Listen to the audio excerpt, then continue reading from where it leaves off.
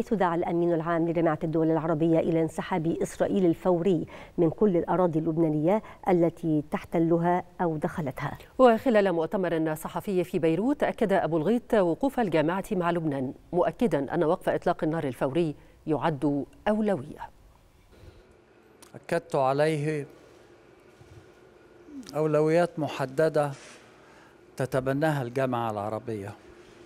في مقدمتها أهمية وضرورة التوصل الفوري لوقف إطلاق نار مستقر ومقبول ودون مدد زمنية مثلما يطرح هنا وهناك.